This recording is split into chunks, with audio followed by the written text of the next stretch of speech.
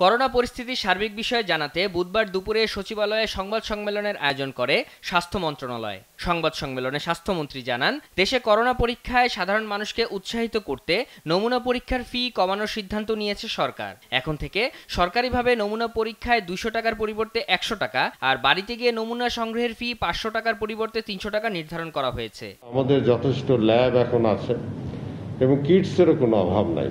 আশা করি এই পরিবর্তনের ফলে